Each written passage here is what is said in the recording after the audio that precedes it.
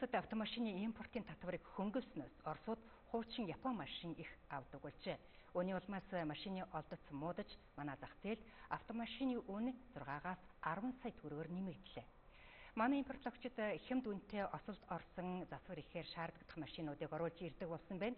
За эдгээр машинуудыг засварт оруулж тэгдэд өндөр үнээр нийлүүлж байх магадлалтайг холбогдох байгууллагууд шалгаж тогтоож эхлэв. Бид машины үн судлахаар 22 автуудалтааны төвийг зорин очиход машины нийлүүлэлт ховордож үн 6-аас 10 сая төгрөгөөр нэмэгджээ. Өнгөрсөн 4-р сард хэвийн байсан машины үн хэд хөөрөгцнийг чэнжүүд хэлээр орж ирэх машины нийлүүлэлт багассантай холбон тайлбарлаж байна. Мөн Японд автомашин ховордож үнэтэй болсон нь үнэ нэмж зархаас өөр аргагүй байдалд хүргэсэн гэсэн тайлбарыг өгч байна. Монголчуудын хамгийн их ундаг Purus 20 маркийн автомашин 16-аас 18 сая төгрөгийн ханштай байгаа бол Purus 30 маркийн автомашин 24 сая Purus 40-өөс 41 маркийн автомашин 24-өөс 26 сая 500-ийн хооронд байна. Харин харьяар маркийн автомашин 38-аас 45 сая төгрөг болтлоо өссөн байна. Нөхцөлөд буцаад тэвэндээ ороод тээвэр наашаа таталтаасаа хийчих юм бол үн бас тодорхой хэмжээнд баг зэрэг буурах бол боломж байгаа.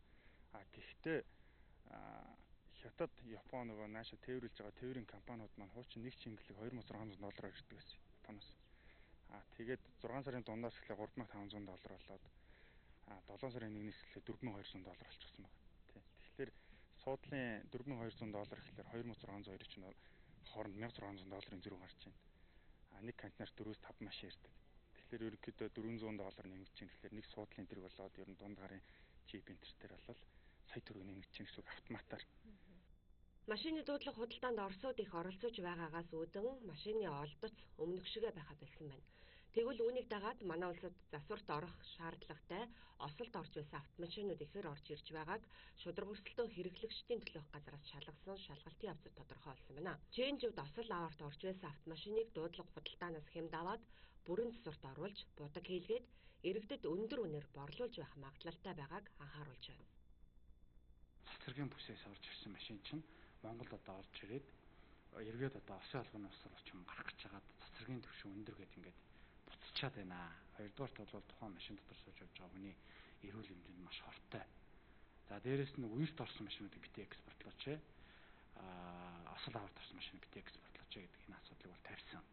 За Японы улсын элч сайдын яамнаас бол юу гэж хэлсэн бэ гэхээр Японоос экспортлж байгаа аж ахуйн нэгж хувь иргэн болвол японочууд биш ээ. Танаа дандаа монголчууд ч өөрсдөө байгаа А хоёрдугаарт бол дэлхийн худалдааны байгууллага дээр Япон улс ч гэрээтэй, Монгол улс ч гэрээтэй. Гэрэний хадагу бол тухайн одоо улсууд руу экспортлох болон импортлохыг хориглох бараа бүтээгдэхүүнээ жагсаалт гэж гардаг аль байсаар а тийшээ бас та нар хандах ёстой гэдэг ийм байрсаар илэрхийлсэн. Чэнжүүдийг хэлж байгаагаар хил дээр машин нэгээс 2 сар хүлээгдэж орж ирж байгаа нь нийлүүлэлт багасч үн хөөрөгдөхөд хүргэж байна гэж хэлж байна. Тэгвэл хил гайлийн асуудал хэвийн нөхцөлд очивол автомашины ханш буцаад буuna гэсэн хариултыг өгч байна. Тиймээс иргэд машин хэтэрхий үнэтэй сонголтгүй болсон энэ үед банкны зээл тавин автомашин худалдаа авахгүй байх хэрэгтэй байна. Ингэснээр хөөрөгдөд байгаа үн буuna. Үгүй бол бид цаг үе сайхан болсон ч үнийн өсөлтийн эрсдлийг үүсээр авах болно. Сүүлийн 24 цагт ковид-19